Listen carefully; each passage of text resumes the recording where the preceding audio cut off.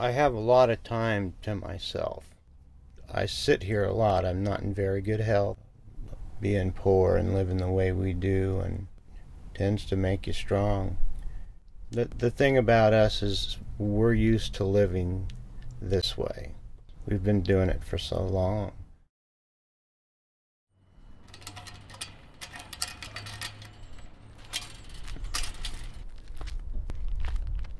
It's all I got sometimes to walk around this place.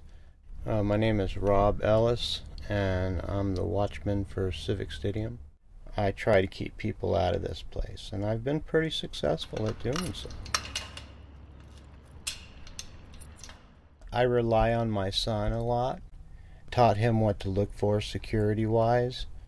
What I've realized is that being a single parent is is a lot harder than what people think. In the end, what, what I've ended up with is a very close relationship with my son. He's a good kid. He understands why we do what we have to do. And between me and my son, we keep a really good eye on this place.